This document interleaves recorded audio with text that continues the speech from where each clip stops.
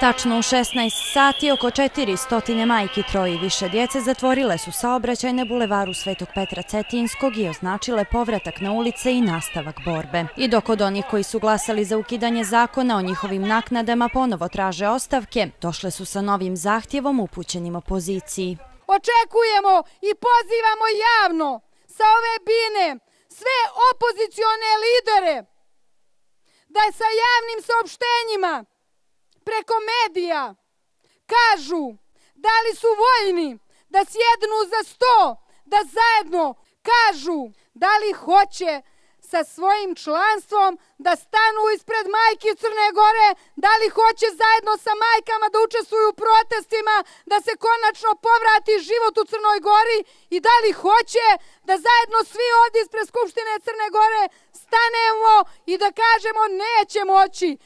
Nekada sam bila zdravstveni radnik, a sada sam pastirica sa 25 godina radnog staža.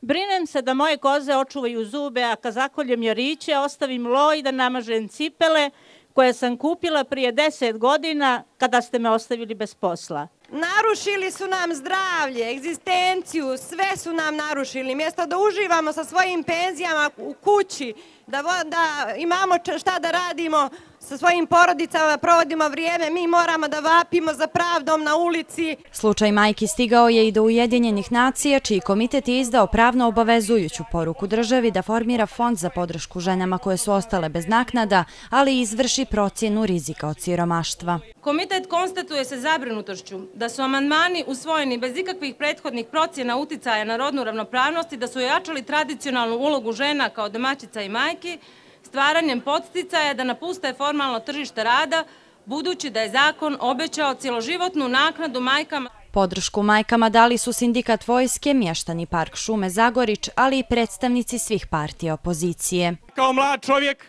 kao sin i kao neko ko vapi za slobodom, molim vas ovdje, ne odustajte, idite do kraja jer svaki trud se isplati, svaka poštena borba na kraju dovede do pobjede i do slobode.